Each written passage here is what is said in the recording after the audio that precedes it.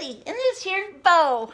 And I just wanted to say hi and tell you that I would love to have you be one of my kiddos.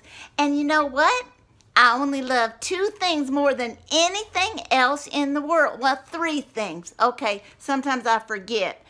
But one of the things I love more than anything is you, kiddo. And I love the Holy Bible because it tells me exciting stories. Beau, you want to see over here? See the kiddos? Say hi, kiddos. This is Beau. Say hi. So where was I? Oh, yes. One is I love you, kiddo. And two is I love the Holy Bible. You know why? Because it's a collection of stories that tells us how much God loves us.